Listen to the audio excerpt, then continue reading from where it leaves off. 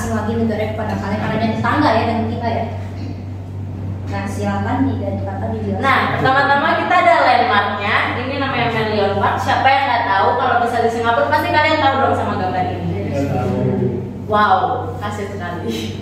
Nah, terus kita pertama ada uh, sejarahnya. Jadi Singapura tuh awalnya uh, dari bagian 14 negara yang tergabung pada Federasi Malaya. Singapura tuh dulu dijajah oleh.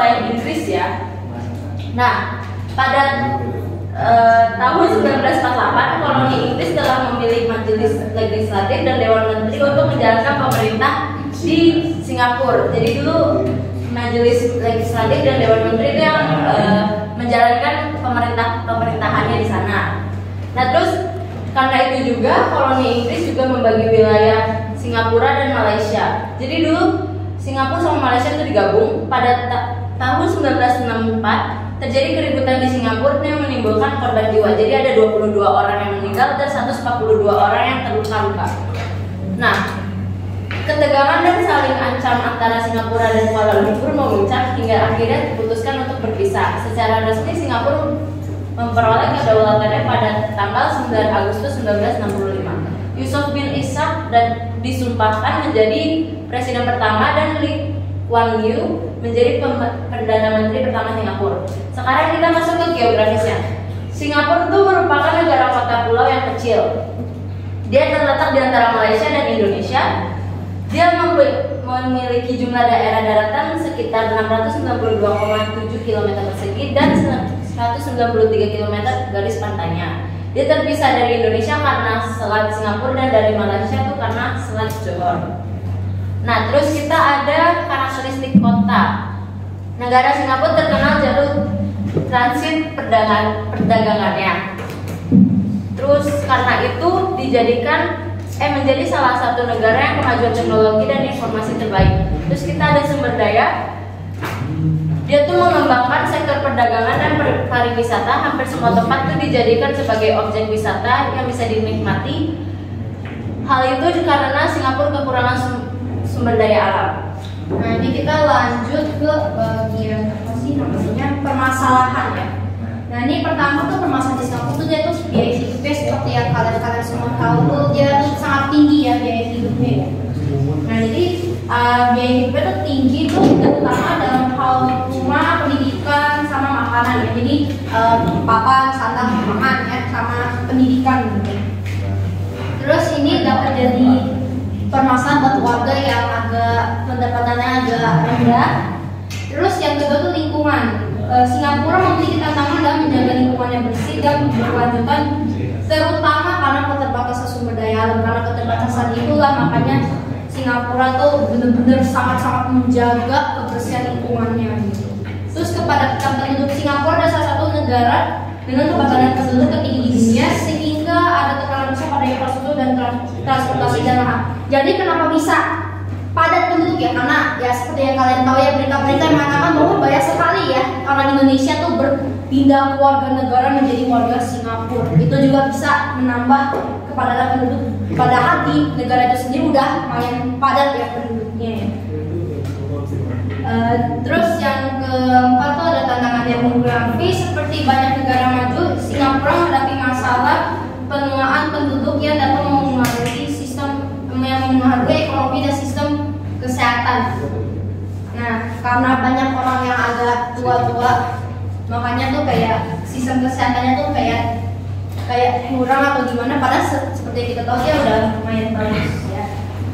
Terus kesenjangan pendapatan, nah itu dia terdapat kesenjangan pendapatan antara kelompok ekonomi yang berbeda di Singapura. Jadi kayak ada kasta-kasta gitu sih kalau dari pengertian saya membaca ini ya. Nah, lu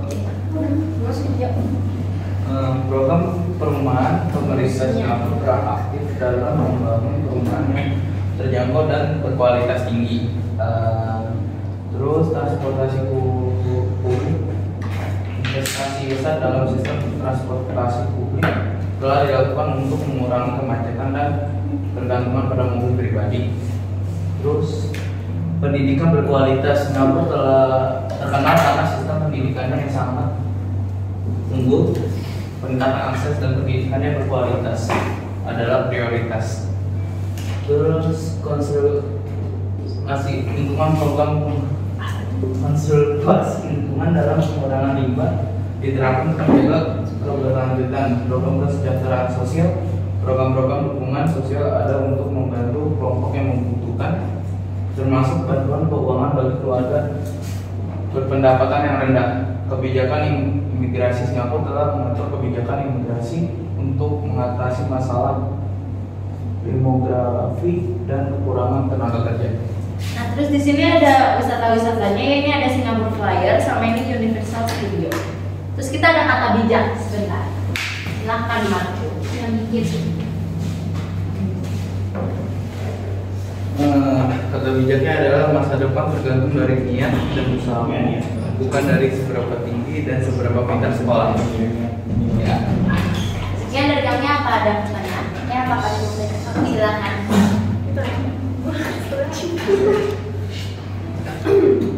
bahasa asli sana Bahasa susah. Apa?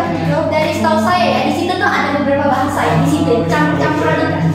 Dan itu ada Mandarin, ada Inggris, ada Melayu juga ada ya seingat saya ya.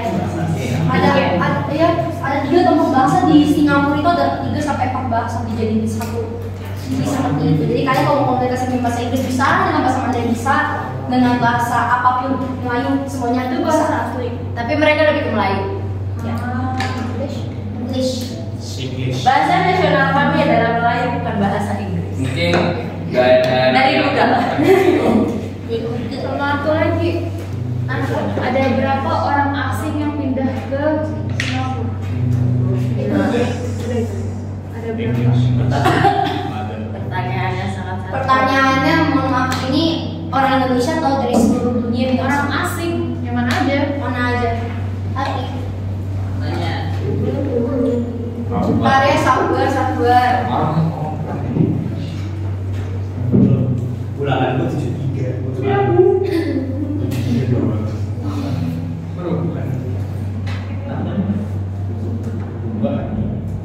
Imigrasi ungkap 3.912 WNI pindah jadi warga negara Singapura. tapi gue nanyanya seluruh Gak ada di Google ya soalnya. Jadi cuma itu ada informasinya. Silakan Juan. Masih ada pedesaan di Singapura. Masih ada pedesaan di Singapura.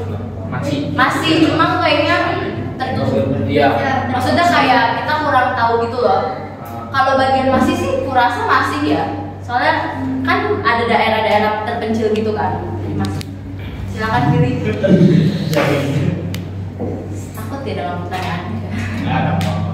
Apa? Kayak eh, dibandingkan Indonesia kan Singapura lebih maju ya. Hmm. Kenapa Singapura? Kenapa Indonesia nggak mau apa? Pokoknya bukan kerjasama kayak dia pengen Singapura jadi negara bagiannya juga. Jadi Singapura join dengan Indonesia. Tapi tapi Singapura jadi pusat industri. Dan Indonesia juga betul. Singapura ini kadang cuma Kita pernah jawab dari pajak.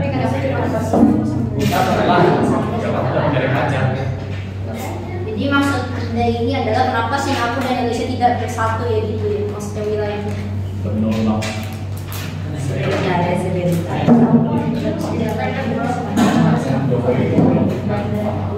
Ya kan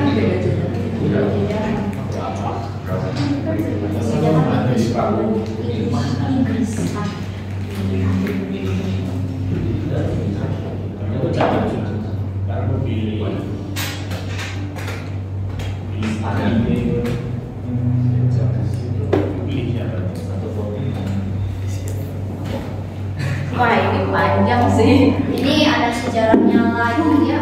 Mau dibacakan? Oke. Mungkin karena ambisi para pendiri bangsanya yang memilih untuk berdikari. Singapura berdiri pada tahun 1965 setelah lepas dari Malaysia, di mana Indonesia sedang rusuh masalah peristiwa G30S yang menimbul, menumbuhkan sentimen nasional terutama pada etnis Tionghoa dan anggota PKI setelah kemerdekaan pada saat itu. Warga negara Singapura sedang bersusah payah untuk berdikari dan bertahan hidup di zaman itu. Ya, Ya. Karena itu. Dan juga sesama, sebagai sesama bekas wilayah jajahan Inggris, mereka masih menerima sedikit banyak bantuan atau asisten dari negara Malaysia pada saat awal berdirinya negara tersebut sehingga tidak begitu memerlukan bantuan Indonesia yang saat itu juga sedang repot dengan turbulensinya sendiri di dalam negeri. Itu bahasanya. sokong Tanya lagi dong. Eh, lagu nasional Singapura dalam bahasa apa? Aku udah dihapus.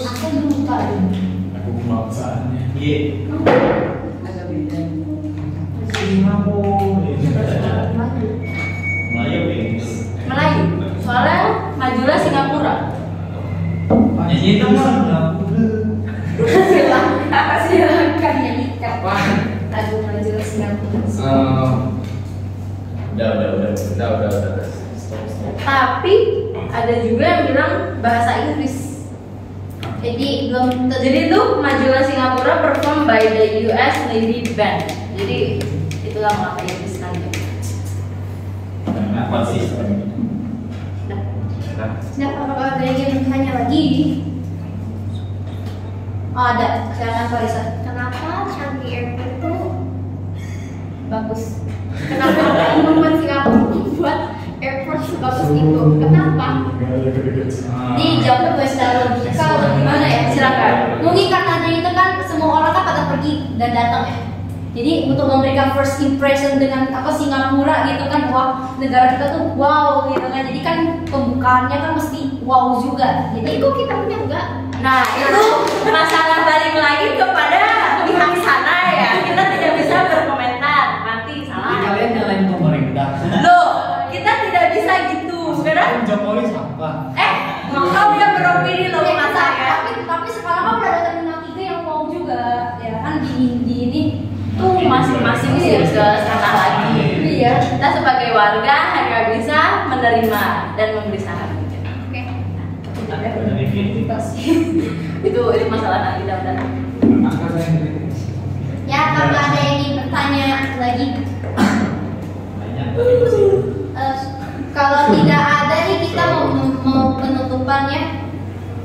Oke kalau tidak ada sekian dari presentasi kami.